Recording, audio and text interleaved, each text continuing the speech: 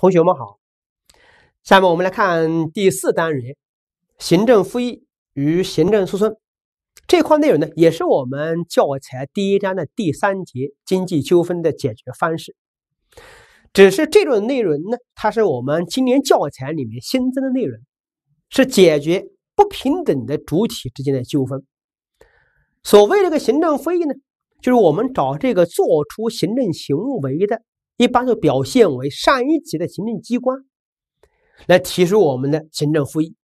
你儿子欺负我，你应该替我做主啊！所以他这里面的复议机构呢，不是我们的法律司法机关，而是行政机关。行政诉讼这一块里呢，顾名思义是什么呢？找人民法院来处理我们这个民告官之间的纠纷问题啊。好，咱们先看第一处考点。是行政复议。先看第一个知识点：行政复议的适用范围。在适用范围里面，首先我们把大帽子盯住，它一定是解决不平等的主体之间，就是民跟官之间这两者存在管理与被管理关系的。那么，是我们这个民对行政机关这具体行政行为认为侵犯了其合法权益的，那我们。申请行政复议，那么具体情形呢？咱们教材里面列举有十几种情形，我这儿呢都把那十几种情形删除了。为什么删除呢？因为这玩意儿干嘛？你没必要去念那十几条，你就记住一点哦：民告官对具体的行政行为可以申请行政复议。那我们考试里面考试范围往往是把什么呢？哎，一个提示。我们需要注意的一个是我们这排除事项，这是我们必须要掌握住的。好，我们先看这个提示。我们说，行政机关里面，他做出具体行政行为，它都是什么呢？有依据的，不能乱作为，是不是啊？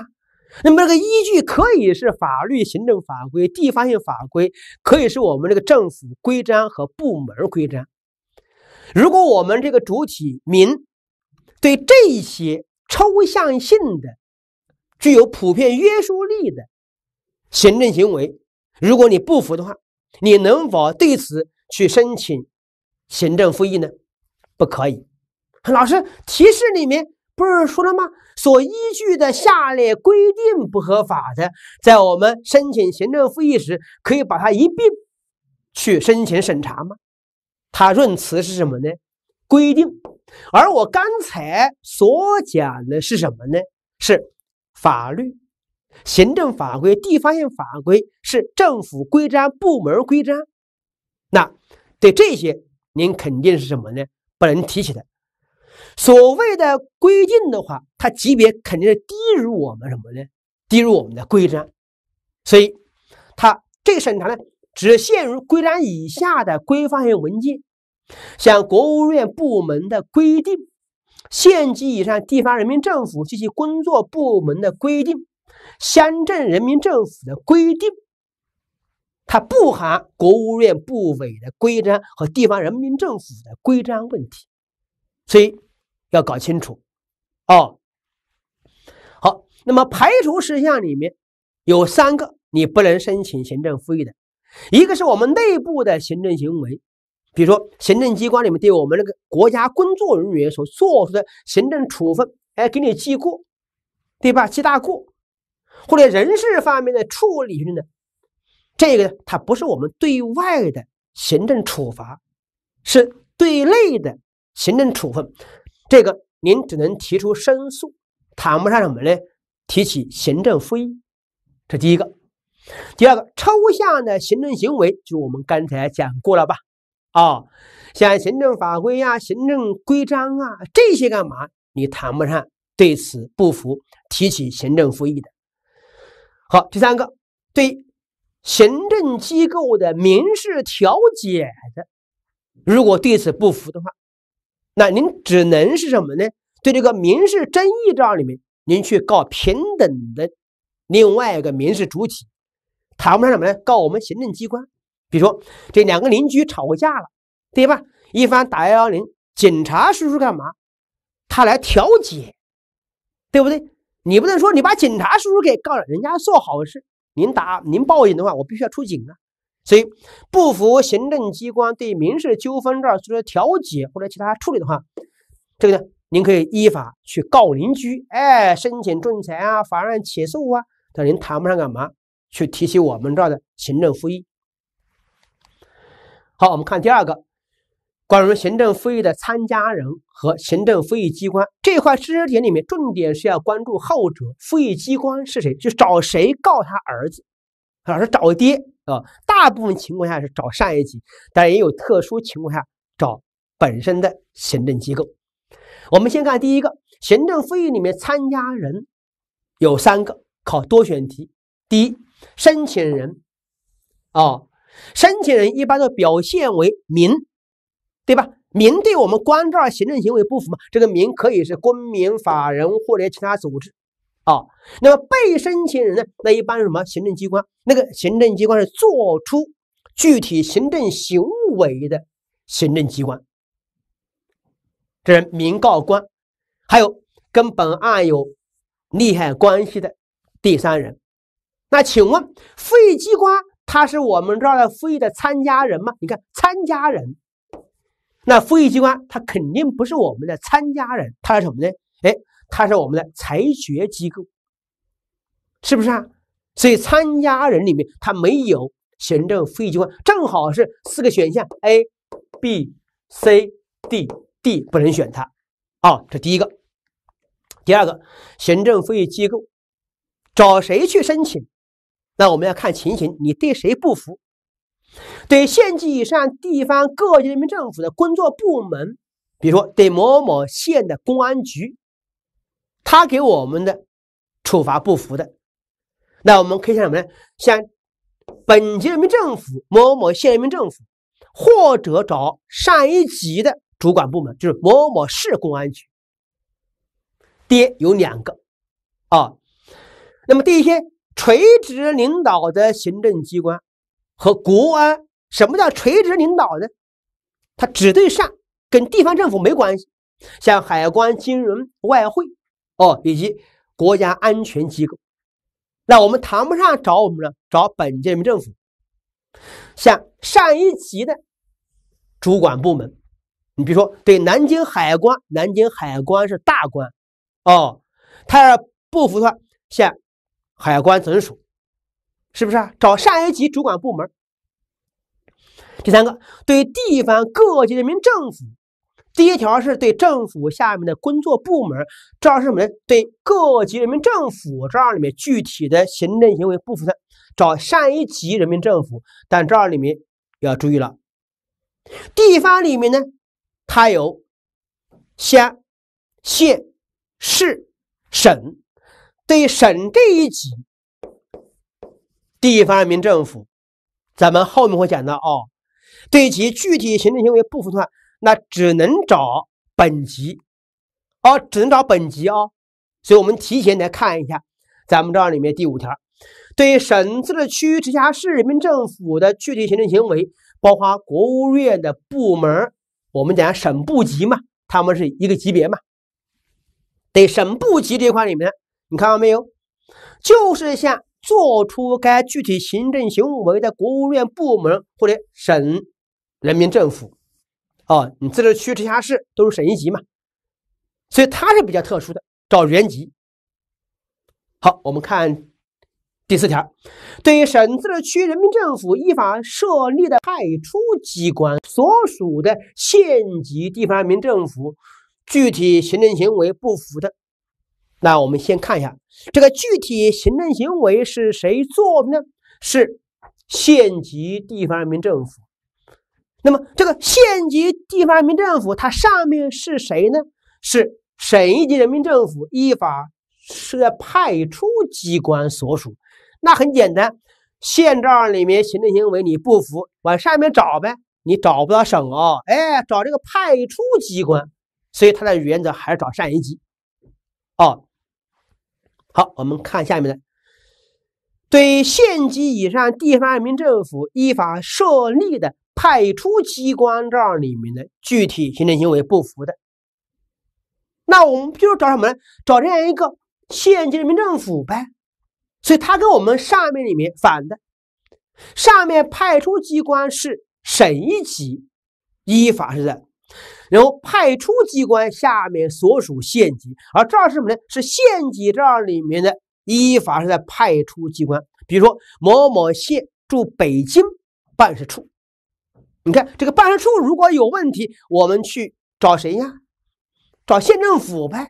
所以找这个派出机关的人民政府这儿里面啊。好，对政府工作部门依法设在派出机构，依照法律法规规章规定，以自己名义做出的具体行政行为。好，现在是。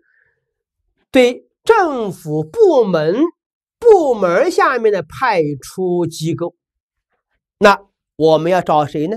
找设立该派出机构的部门，或者是这个部门所属的本级地方人民政府，比如说县政府下面的公安局，公安局下面干嘛？有派出所吧？哎，派出所就是我们的派出机构吧？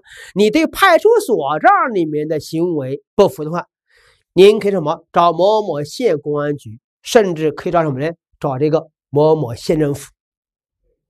哦，好，对两个两个以上的行政机关以共同名义做出的具体行政行为不服的话，那没关系，找共同的上一级的行政机关就可以了。哦，共同的上一级。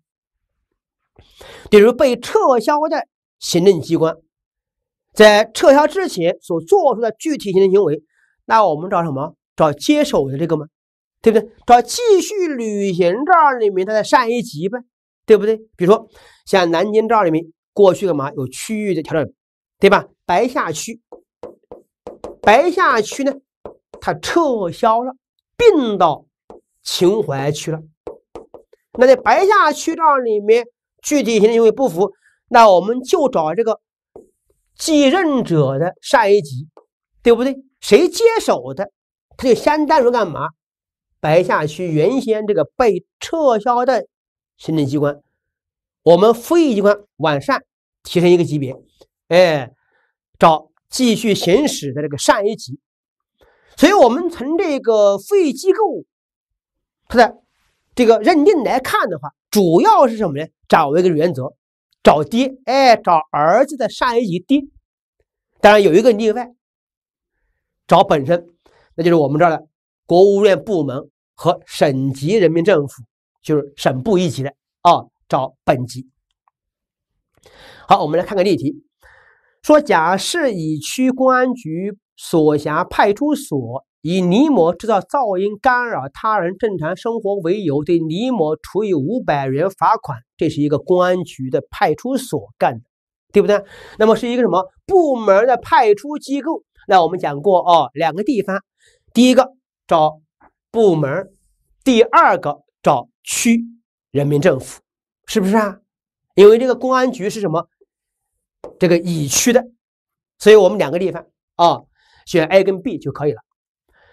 好，我们看第三块是行政复议的申请与受理。那民告官的话，申请第一时间在什么时间内提出这个行政复议？自知道该行政行为之日起六十日内提出，除非法律规定申请期限超出六十天的处分。所以原则上是什么呢？在知道之日起六十天内提出来。那么申请的形式可以书面，也可以口头的申请，这一点跟我们上一讲讲民事诉讼的话是一样的。起诉状可以书面，可以口头，当然仲裁协议必须是书面的。那么关于这个行政复议和我们这个人民法院这儿里面，我们要我要我要防止什么呢？浪费我们这些司法资源，所以。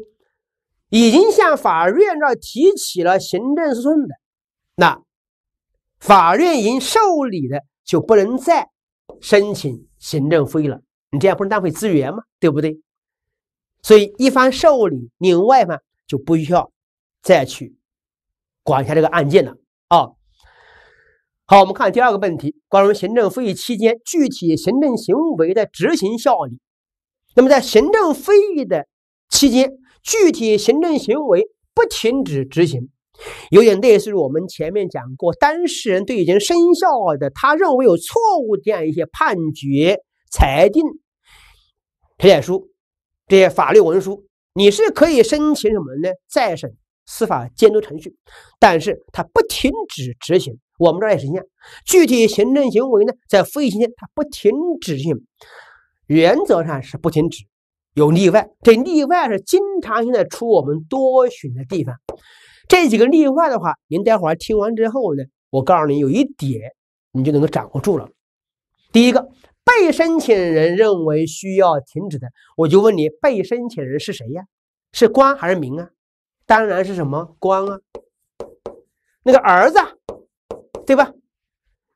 行政复议机关认为需要停止执行的，谁呀？是官。这官是谁呀？爹呀，复议机关啊，是不是？好，申请人申请停止执行的，复议机关认为其合理，决定停止的。你有没有发现这句话里面拆一半，就说申请人申请停止，那就可以停止吗？不对，你说了不算，所以。是否停止的话，民说了不算，官说了算。你看到没有？民申请的话停止，官认为什么呢？他爹认为，哎，合理，决定停止的。第四个，法律规定的停止的这一条你根本不用背，所以无非是这三个人，对吧？一个是什么呢？儿子，一个是爹，一个是民。哦，官方说了算。哦。好，我们看第四个方面是行政复议的决定。那第一个问题是审查办法，他会开庭公开审理吗？行政复议这儿不存在开庭，它不是司法机关，既不是仲裁，也不是法院，在原则上是采取什么书面的审查方法。哦，那么必要时呢，他可以向有关的组织或人员调查情况。听取我们各方的意见，所以它不存在什么开庭公开审理问题。这一点跟仲裁、跟民诉、跟我们行政诉讼都是不一样的啊。那么民告关照里面，不管是行政复议，还是我们行政诉讼，在举证责任方面。它跟我们的民事的案件和仲裁案件不一样。一般在民事诉讼里面，仲裁是谁举证谁举证，就是您提出来，他欠我一本，你证据是什么？你自己证明。而民告官的案件里面，甭管是复议还是我们诉讼案件，他举证是倒置的，就我向法院、向复议机关提出来什么样一个原因，对吧？对方。被申请人这个官，他儿子，他来举证证明，说不是这么回事。你证明，你证明不了的话，那就是我说的这么回事。哦，他举证责任是倒置的。在行政复议过程中呢，被申请人不得自行向申请人和其他有关组织或者个人呢收集证据。言外之意。他防止你滥用行政权利，哦，所以你在行政复议过程中，那个儿子呢，那个官，他不得自行的去调查、收集。好，我们看第二方面，关于行政复议决定的作出期限，那复议机关里面不能官官相护啊，不能拖，所以咱们这里面就规定了。自受理申请之日起六十天内作出行政复议决定，除非呢法律规定的可以少于六十天的除外。但是如果案情比较复杂的，那经过行政复议机关负责人批准的话，可以延长，但是延长里面最多不能超过三十天。言外之意，一个复议案件最多在九十天内给我们申请人一个说法，六十最多给您加三十。那我们刚才也说过，申请人申请的期限的话，是知道具体行政行为之日起六天，复议机关它最长什么，在九十天里面，啊，六十加三十这个时间里面给我们一个结果。好，行政复议决定的类型，那要么是维持，维持那表明我们具体行政行为没有问题，事实清楚，证据确凿，程序呢合法，对吧？然后呢，申论依据呢正确，内容适当，那就是应该做出维持。那么第二个，对我们这个被申请人这样里面，你应当要履行法定职责，你不履行的，那我们是复议机关呃限期他去履行。这第二个履行决定啊，在一定期内限期履行。我们重点是看第三个决定类型，是撤销、变更或者确认我们具体行政行为违法。那情形的话，你根本不需要背。一定是我们被申请人的具体行政行为有瑕疵，瑕疵表现为事实不清、证据不足、申论依据错误、违反法定程序、越权滥用职权以及具体行政行为明显不当的。其实我们在前面讲到二审里面也讲过，是不是啊？如果说没有问题的，那是驳回上诉，维持原判；如果说有问题的，那我们首先是撤销变更，对吧？是撤销，然后撤销之后呢，我们看问题所在，事实不清、证据不足的，那要么是发回重审，要么是依法改判。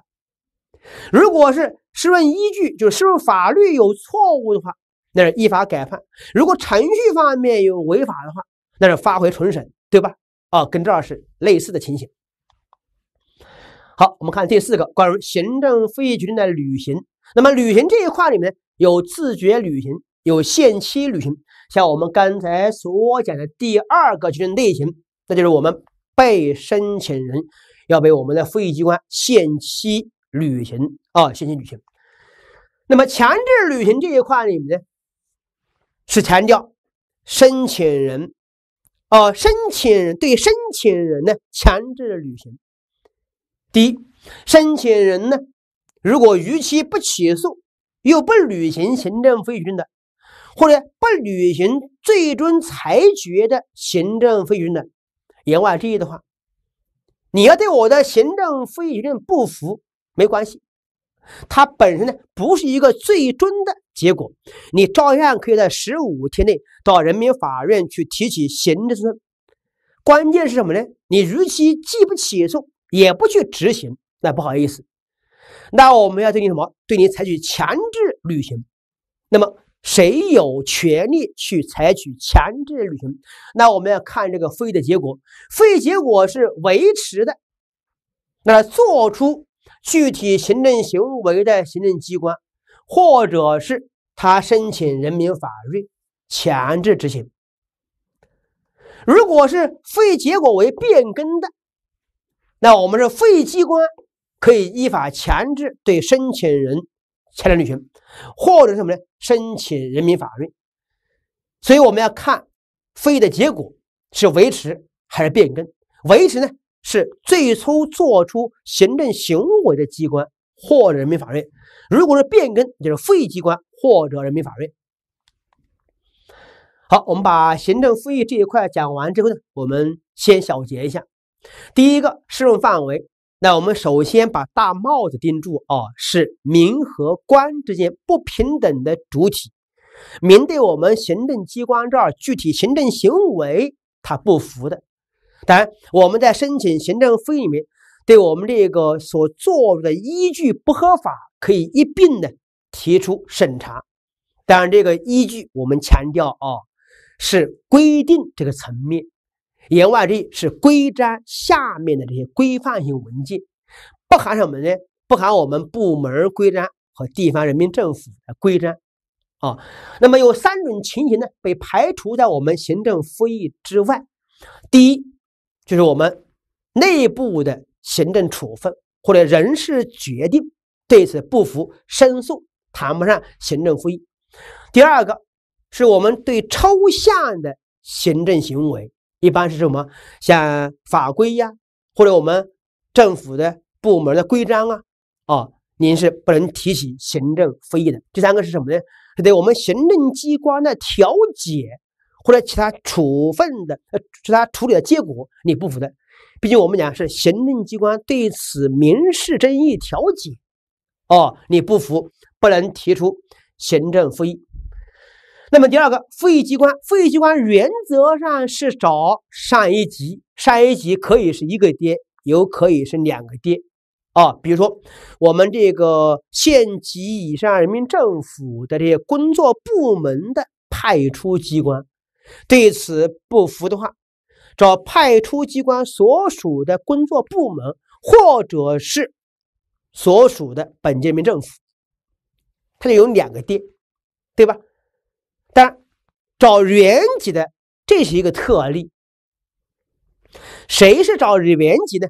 就是我们省部级。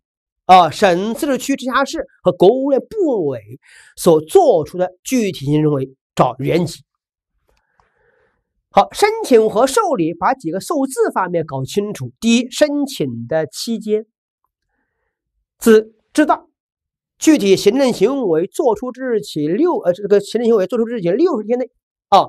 那么第二个，形式书面或者口头方式都可以啊。那么在法院受理之后。不得申请行政复议了。那么行政复议期间不停止执行，除非是官方说了止停止的，是不是啊？所以我们要关注这个申请人他提出停止，但是复议机关得认为合理，决定停止的才可以停止。啊，好，行政复议决定第一，在审理的方法方面，他谈不上开庭公开问题，他书面审查方法。啊，然后这个复议的举证责任的话，是由被申请人承担。啊，在行政复议的过程中的话，那么我们这个被申请人呢，也不能自行的去收集证据。啊，好，那么复议机关这里面的期限呢，是受理之日起六十天内，情况特殊可以延长，最长延长三十天。啊然后行政废除的类型的话，有维持、有限期履行、有撤销、变更或者确认违法。啊，好，在强制履行这一块里面呢，是对我们申请人采取强制履行，那我们就要看复议的结果。维持的是由最初做出具体行政行为的行政机关或者申请人民法院。如果是变更的话，是复议机关或者是申请人民法院来强制履行。好，我们看第二处考点是行政诉讼，这块内容呢难度也不大啊。那第一个问题，行政诉讼里面特有的原则，就这处知识点啊，特别容易出我们这些客观题，毕竟是特有的，跟其他纠纷解决方式有不一样的地方。第一个，被告负举证责任原则这一点，其实它跟我们的行政复议是一样的，但是呢，区别于我们平等主体之间纠纷的仲裁和民事诉讼。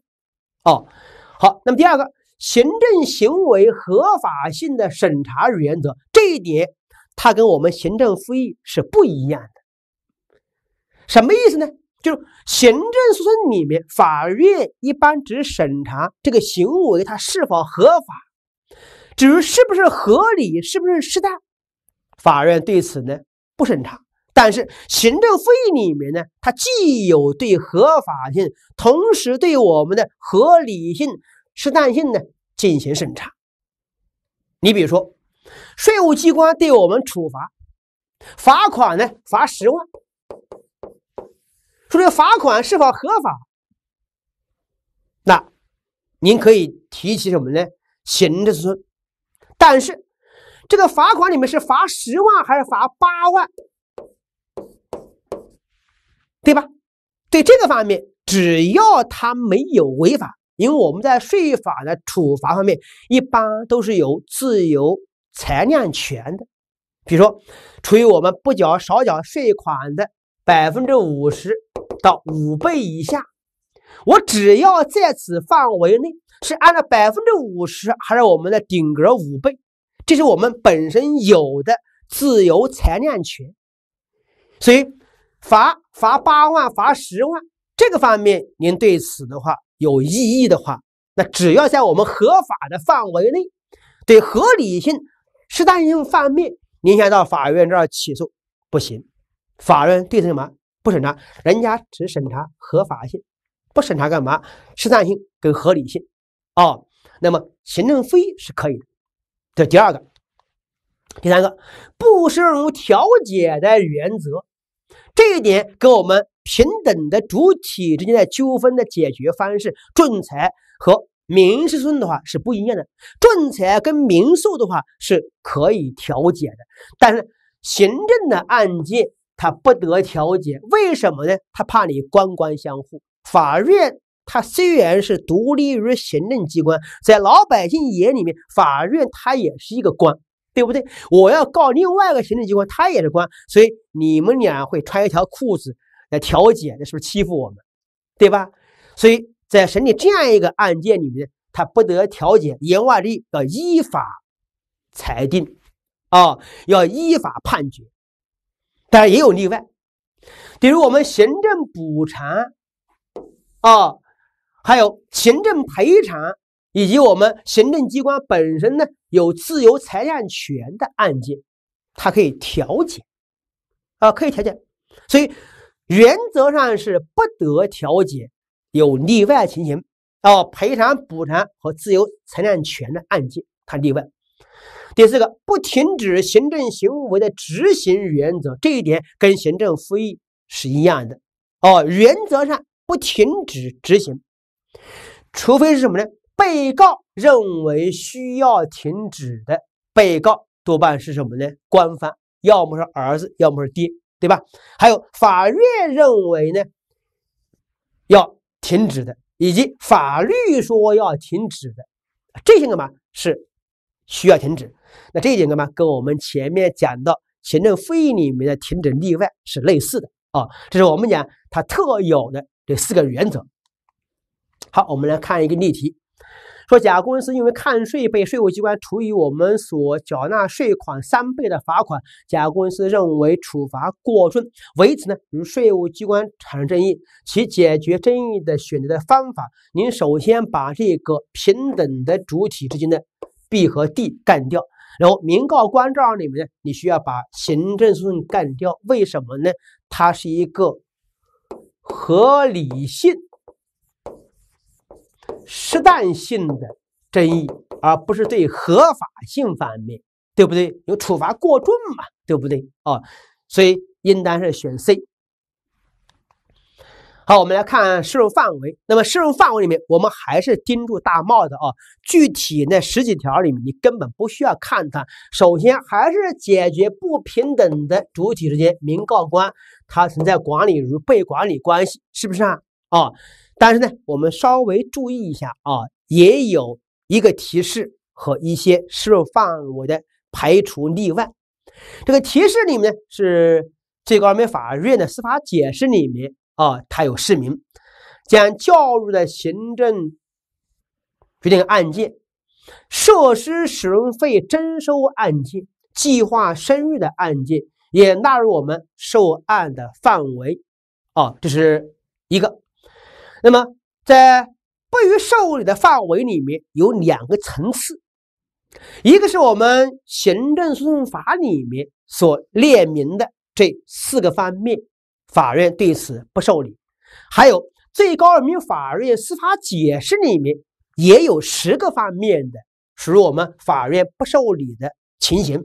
咱们先看这个法律本身的例外，第一，国家行为。像国防、外交等国家行为，啊，法院对此呢提起的诉讼，他不受理。第二，抽象的行政行为，那跟我们刚才行政复议里面例外是类似的啊，像法规呀、规章啊，啊，以及我们行政机关制定发布的具有普遍约束力的决定命令。第三个，内部的行政行为，那和刚才也是类似的。是不是啊？对我们国家机关工作人员的奖惩任免，对此呢，你有不服的话，谈不上我们提起行政诉讼问题。然后第五个，遵局行政裁决行为，顾名思义，遵局是最终的您对此不服的话，您是不能到法院这儿去起诉的啊。比如说，国务院的裁决，它就是什么呢？遵局的。再比如说，省级人民政府对自然资源权属的负责任，它就是最终的裁决。对此不服的话，你不能到法院去了啊。好，我们再来看最高人民法院司法解释里面，它总共有十个方面。这十条里面，你也不需要背它，顶多出我们小题目，我们把控几个关键点就可以了。第一个，公安、国家安全等机关依照我们刑事诉讼法里面明确授权实施的行为，这是跟国家安全方面有关系的。哦，不服不行哦。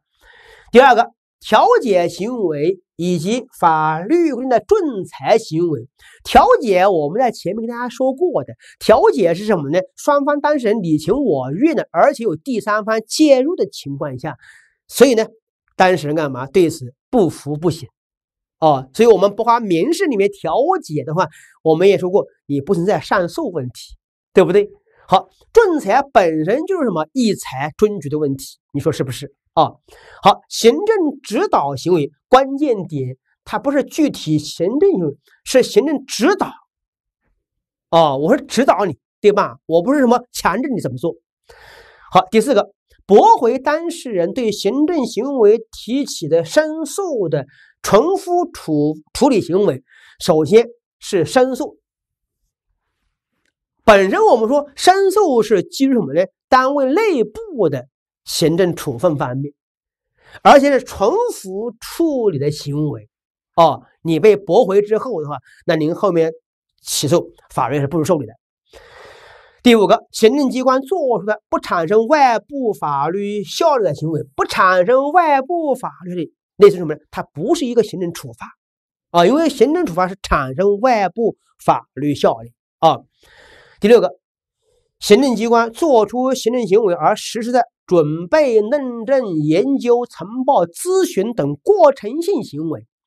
第七个，行政机关根据人民法院的生效的裁判协助执行通知书作出的执行行为。但是，行政机关扩大执行范围或者采取违法方式时的处分，本身它依照法院的去执行，除非是它扩大了。或者才叫违法的方式。第八个，上级行政机关基于内部的层级监督关系，对下级行政机关做出了听取的报告、执法检查、督促履责等行为。毕竟我们呀是行政机关之间的，它不是民告官，不是民的问题哦。第九个。行政机关针对信访的事项作出的登记、受理、交办、转送、复查、复核意见等行为啊。第十个，对公民、法人、其他组织的权利义务不产生实际影响的行为，对你们没有实际影响，这些也是我们不受理的例外情形。好，我们看第三个方面是诉讼管辖。管辖这一块里面，我们要分两个层次，一个是级别管辖，一个是地域管辖。那么级别管辖里面，一般来讲，一审案件呢是由基层人民法院来受理，是不是啊？但是有特殊情况下，一审的行政案件归属给中级人民法院来管辖，这是一个特例，咱们需要通过多选题来把控的。考试里面喜欢考多选题啊。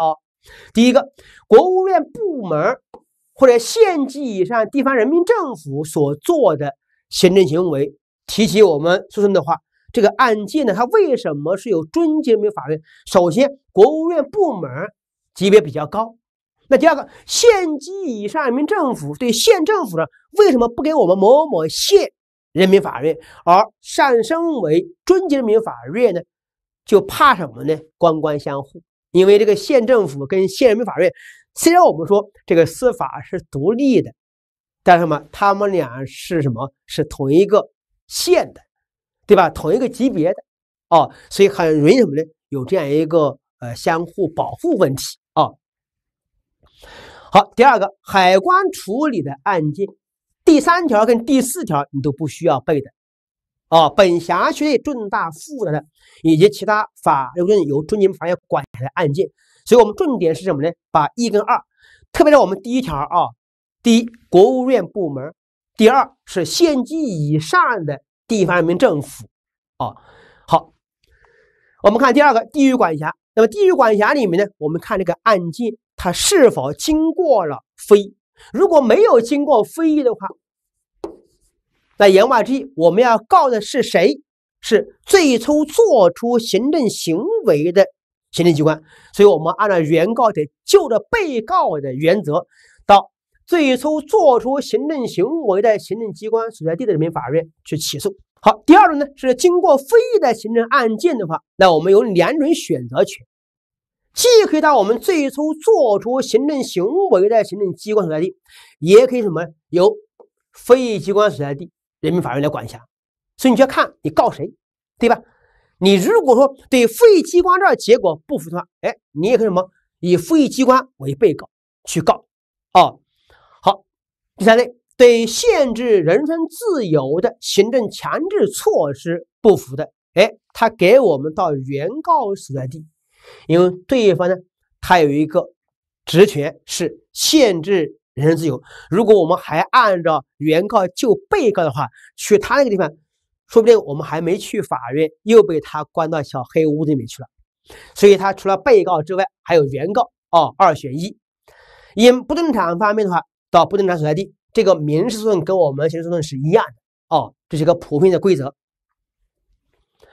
好，裁定管辖，那这块内容呢，容易出我们的判断题。首先，移送管辖这儿里面，那么法院发现这个案件不属于本法院管辖范围的话，可以移送给我们有管辖权的法院。那么受刑的人民法院应该要受理，但是如果受刑的法院发现这个案件，他也不应该管。他还能够再自行移送吗？不能，不能踢皮球啊，是不是啊？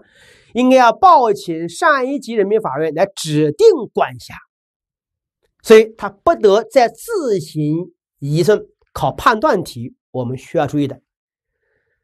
所谓指定管辖，是强调什么呢？有管辖权的人民法院有特殊原因，他不能行使管辖权。那我们找上一级人民法院来指定管辖，啊，那么人民法院对管辖权有争议的话，争议双方协商解决，协商不成的，报他们共同的上级人民法院来指定管辖。那么移转管辖这里面是本身你有管辖权，但是你管辖呢不太合适，你认为不太合适，哦。那我们什么可以报请上级人民法院来决定？那么上级人民法院有权审理下级人民法院管辖第一审行政案件，这是我们讲移转管辖问题。你听一下就可以了，顶多出我们的判断题。而判断题里面最为重要的就是我们第一个移送管辖，受移送的法院呢，它不能再自行移送啊。好，我们看第四个方面是原告与被告的确认问题。那么这一块里面也容易出我们的这个选择题。第一个，原告的确认，原告首先他可以是我们行政的相对人，比如说公安局对张三进行的什么进行了一个处罚，那么张三他就可以提起行政诉讼。除了我们行政相对人之外，还包括我们。受这个行政行为实质影响的主体，我们简称叫受害人。虽然这个行政行为没有直接针对他，但是他也因为这个行政行为而受到合法权益的伤害，那他也可以成为原告。那么具体而言，第一个受害人。啊，那么第二个是相邻权人。什么叫相邻权人呢？比如说，规划部门同意甲这里面盖八层的房屋，但是规划部门同意这样一个行政行为，你让邻居乙这里面家里面没有阳光，那么乙这里面邻居他就是相邻权人，所以相邻权人他不是。行政行为的相对人，哦，你规划部门呢？这个行政行为是给甲，但是你对我们邻居乙这里面是有损害的，那么邻居乙这里面就可以以原告身份去起诉。比如业主委员会这样里面呢，那第一个，他可以以自己名义去起诉行政机关做出来是在我们业主共有利益方面行政行为。如果业委会不起诉的话，专有部分占建筑总面积过半数，或者是占总户数过半数的业主呢，可以去起诉。啊，好，近亲属这一块里面，那是被限制了人身自由，他没有办法自己去起诉。那么近亲属呢，可以依照其口头或者书面委托，以该公民这样名义去提起行政。我们要注意的是什么呢？近亲属他不是以自己名义，是以什么呢？被限制人身自由该公民这个当事人的名义去起诉啊。好，被告这儿里面呢，那第一个，如果这个被告是我们做出行政行为的行政机关，那很简单哦，我们直接干嘛？以这样一个最初做出行政行为的机关为被告，哦，这是直接被告。好，呃，经过了复议案件的话，那我们要去告诉他这个被告里面，我们看这个复议结果。复议结果如果是维持的话，那表明复议机关跟那个最初做出行政行为的机构呢，他们是穿一条裤子，他们俩是一个鼻孔出气，都说干嘛可以这样干。所以呢，我们要告，哎，把他们两个嘛一起作为共同被告去告啊。如果复议机关改变的话。您对这个改变结果不服的话，那我们就以复议机关为被告，啊，所以第一个里面维持的话是双方为共同被告。好，委托行政的被告啊，就是那么我们是以委托的行政机关作为被告，因为他是受托的去干的。当然，这个受托方是接受委托方的委托啊，所以我们以委托的行政机关为被告。好，内部机构的被告啊就是那我们这个行政机关内部的机构派出机构，在没有法律法规授权的情况下，以自己名义做出的行政行为，那我们就以什么这个行政机关为被告啊，不以我们这个内设机构派出机构为被告，而以什么而以他上面的行政机关为被告。好，开发区管委会这一块里面被告的话，就要看开发区的级别，是国务院、省级人民政府批准设置的话，那我们以开发区管委会管理机构为被告。那么这样一个管理机构所属的职能部门做出的行政行为，那我们要起诉，就以这个职能部门为被告。比如说某某开发区管委会。它下面干嘛？有招商局，这个招商局呢，就是开发区管委会下面所属的职能部门。那我们就以这个招商局去告他，哦，当然不在我们省级、国家级的范围内的开发区的话，那我们都是以开发区的管委会为被告，哪怕是这个所属的职能部门，啊，如果说你这个开发区管委会它没有行政主体资格。那我们只好是以设立该机构的地方人民政府为被告，所以我们说开发区管委会的话，我们要看什么级别？国家级开发区、省级开发区。那我们是以开发区管理机构职能部门就以职能部门为被告啊。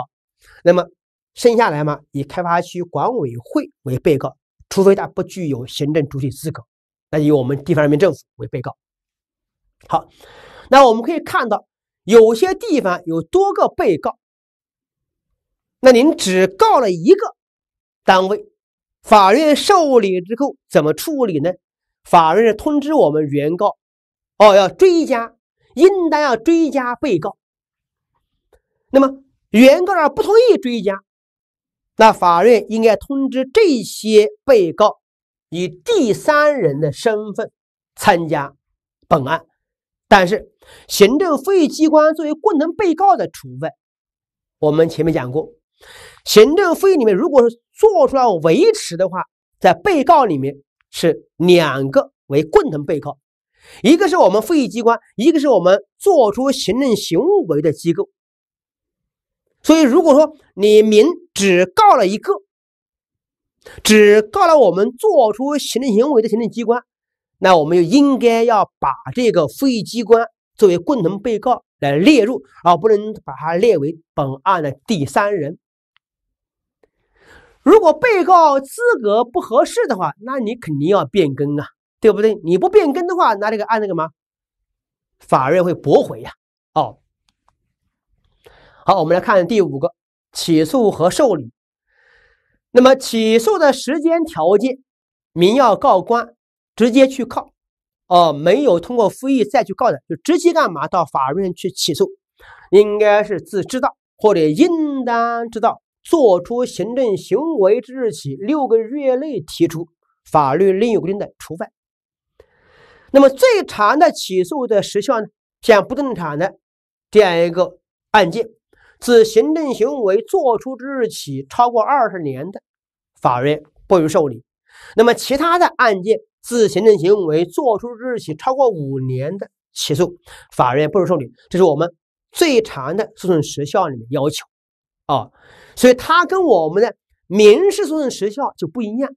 民事诉讼时效里面是什么呢？是三年，最长是二十年。而我们这儿是什么呢？是六个月，最长呢不动产这儿是二十年。那么其他行政案件呢是五年啊，这两点是有差异性的啊。好，在受理这一块里面，如果法院既不立案，也不做出不予立案的裁定，给您耗着有啊。当时呢，可以向上一级人民法院去起诉。上一级人民法院认为符合起诉条件的话，应当要立案审理，也可以指定我们其他下级人民法院立案受理。哦，立案审理。好，第二个问题，在我们起诉的诉求里面呢，如果我们的规范性文件不合法，对行政行为起诉时呢，可以一并。请求对该规范性文件进行审查，照样是强调它不含规章，当然肯定是指规章以下的规范性文件。这一点跟我们行政复议里面那个一并审查的规则是一样的啊。好，法院在审理行政案件里面应该要收取诉讼费用，这一点呢？它跟行政复议不一样哦，行政复议是不收费的。当然，民事案件仲裁呀，还有我们这行政诉讼案件是要收费的。好，好，我们看第六个方面是审理和判决。那么，不管是民事案件，还是我们这民告官的行政诉讼案件，法院在审理方面原则上都是什么呢？公开审理。当然也有例外。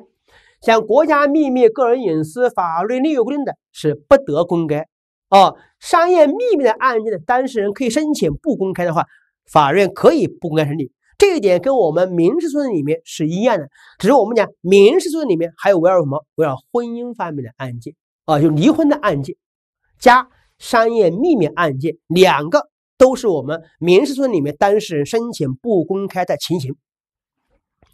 在审理依据方面呢，是以法律和法规为依据，参照规章，哦，参照那表明不能只能以规章作为我们审判的依据，是参照哦。好，一审这儿判决作出的时间，法院呢在立案之日起六个月内作出一审判决。那么我们也说过。不管我们的过程是否公开，你结果呢一律公开宣告判决，啊，这是关于这个一审章里面的判决问题。好，简易程序的话，这块内容呢，您必须要作为我们选择题来关注，是非常重要的。那么民事诉讼里面也有简易程序，行政诉讼里面也有简易程序，什么样的案件？在行政案件里面，按照简易的程序，就是一名法官独任制来处理呢。那首先，我们的一般规则是，案件本身简单，就是事实清楚，权利义务关系明确，争议不大。那么具体表现为：第一，被诉的行政行为是依法当场作出的；第二个，涉案金额呢，在两千元以下的案件，还有属于我们政府信息公开的案件。第四个，当事人各方同意适用我们简易程序的，这是我们讲行政案件里面一审按照简易的程序有四种情形。这四个方面哦，请考生无论如何作为多选题把握，特别是我们这个案件涉及款额在两千元以下这个数字。好，那发回重审的，按照审判监督程序再审的案件，那跟我们的民事诉讼里面是一样的，也不能适用我们简易程序啊。那么简易程序在审理的期限方面的话，它是。自立案之日起四十五日内审结，啊，四十五日内审结。那我们刚才强调，一般的行政案件，一审呢是六个月内作出判决，这是什么呢？是四十五天内审结。好，二审这儿里面呢，它审结的时间是三个月内作出，除非情况有特殊，跟。一审这儿里面是六个月内作出，除非呢情况有特殊，这是三个月。那么二审这儿里面上诉期跟民事诉讼里面上诉期是一模一样的，就看我们一审这儿结果是判决还是裁定。判决送达之日起十五天，裁定的话送达之日起十日内啊，所以。我们把这个行政案件里面把这几个时间要搞清楚啊。那么第一个问题，直接到法院去告，那我们应该是自知道行政行为之日起六个月内，是不是啊？那么这是我们起诉的时效啊。那么最长时效里面，不动产是二十年，其他案件呢最长时效是五年啊。那么第二个，法院这判决的时间要求。那么一审这儿里面呢，原则上是在立案之日起六个月内。那么二审这儿里面呢，是在是在我们上诉状之日起三个月内，这就是原则啊。情况特殊的话，可以延长问题啊。延长一般要经过高院的批准。好，我们来看第七个方面，执行。那么对于人民法院发生法律效力的判决、裁定、调解书，当事人呢是必须要履行的。如果当事人他拒绝履行判决等执行的话，那我们行政机关呢，或者第三人可以向第一审人民法院申请强制执行，或者由行政机关依法强制执行。比如说，像我们的海关啊，像税务啊，它本身就有强制执行权。第三个。公民、法人、其他组织对行政行为在法定期间不提起诉讼的，又不履行的，行政机关呢可以申请人民法院强制执行，或者是自己本身依法去执行。哦，这是执行机关里面，您稍微注意一下就可以。这块里面可考性并不大。哦，好，这样我们把这个行政诉讼讲完之后，我们照例来小结一下。第一个特有的原则。那么举证责任是倒置的，是由被告来举证。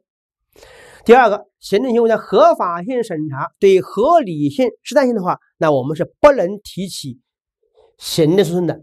第三个，不适用调解原则，这是一个原则上的要求啊，当然也有例外，像赔偿补偿的案件，对吧？像我们这个行政机关有自由裁量权的案件，它还是有这个调解的权利。第四个是不停止行政行为的执行原则，当然也有例外，对吧？被告如果认为应当要停止的，或者法院认为干嘛这个执行要损害国家利益的、社会公共利益方面的，那么法律规定要停止的是应当要停止啊，所以它是原则上不停止行政行为执行。好，适用范围这一块里面呢，您稍微把我们的例外搞清楚，就是排除。在外搞程度，像国家行为、抽象的行政行为、内部的行政行为以及遵举行政裁决行为不受理。那最高人民法院司法解释里面，我们提示这么几个，比如说行政指导行为，比如说调解行为和法律规定的仲裁行为。哎，对此呢，您提起行政诉讼，法院是不受理的。在管辖这块里面有两个层次：级别管辖和地域管辖。那么级别管辖里面搞清楚一个特例，就是中级人民法院管辖的第一审行政案件，像国务院部门、县级以上人民政府的，还有海关的一些案件。地域管辖这一块里面，像没有经过非议的话，到行政行为的机关所在地，啊，就做出。最初做出行政行为的行政机关所在地，如果经过了复议的话，二选一，要么到我们做出行政行为的机关所在地，或者是到非议机关所在地。比如限制人自由的被告加原告的原则。哦，好，呃，在管辖这一块里面，还有裁定管辖、移送。呃，一个裁定管辖里面有移送管辖、指定管辖和移转管辖。那么移送管辖里面有一个判断题，您需要注意：受移送的人民法院呢，它不能再自行的移送。起诉和受理，把时间搞清楚啊。第一，起诉的时间知道或者应当知道，做出行政行为之日起六个月内提出，除非法律另有规定的除外。第二个最长的时效里面，不动产的话是二十年，对吧？其他案件呢是五年啊。那么行政案件，法院是要收诉讼费的。比如既不立案，也不做出不予立案的裁定，那么当事人可以向什么？向上一级人民法院去起诉。好，在审理判决和执行这块里，重点是要掌握我们的判决。首先，第一个审理的依据的话。它依据我们的法律法规，参照规章，哦，那么判决作出的时限，一审里面立案之日起六个月，二审里面是在我们上诉状之日起三个月，哦，这都是原则上的啊。好，那么简易程序这一块里面呢，你把情形盯住，那么它的大帽子是事实清楚，权利义务关系。明确争议不大。那么具体而言的话，是当场做出，还有涉案金额两千元以下，还有属于政府信息公开的，以及各方当事人均同意的。啊，那么简易程序的话，自立案之日起四十五日内审结。啊，好，这是关于这个审理和判决这一块。那么内容看起来特别多。其实呢，我们无非是什么？把这些数字性的知识点需要我们掌握住的。那我们在课后呢，有几个问题啊？第一个问题是什么呢？您需要把仲裁跟民诉这样里面的制度要做对比。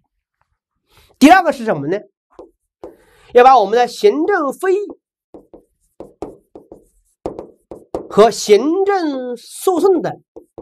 这两者之间要对比，啊，第三个要把民事诉讼，就是民诉，跟我们行政诉讼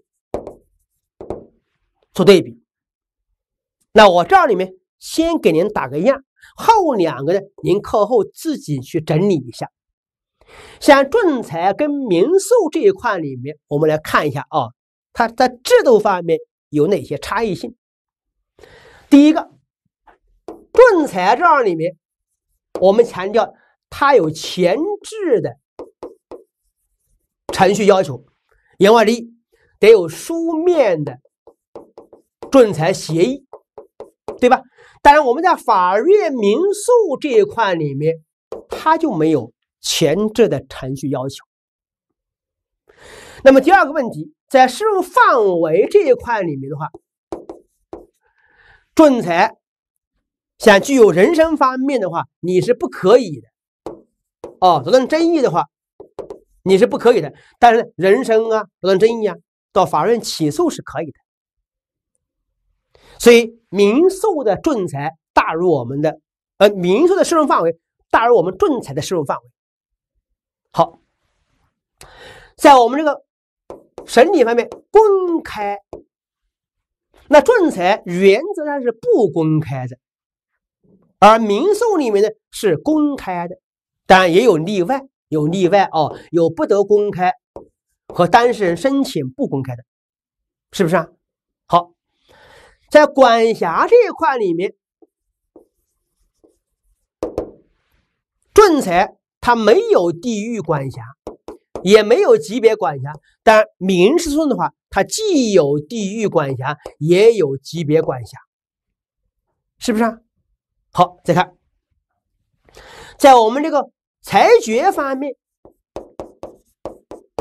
哦，那么仲裁是什么呢？是一裁终局。但是民事诉讼里面，它原则上是是两审终审，当然也有例外，对吧？有例外啊，有一审终审的。那么除此之外，像调解。这两者是一样的哦，都是可以什么？都是可以在前面做调解的，对吧？这是没问题的。所以我这里面只是给您打了个样，把这两者的做了对比。您课后呢，把我们行政复议、行政诉讼呢，还有行政诉讼跟我们民事诉讼的两者做对比。哦，好，这样的话，我们第一章呢，给同学们就讲这么多了。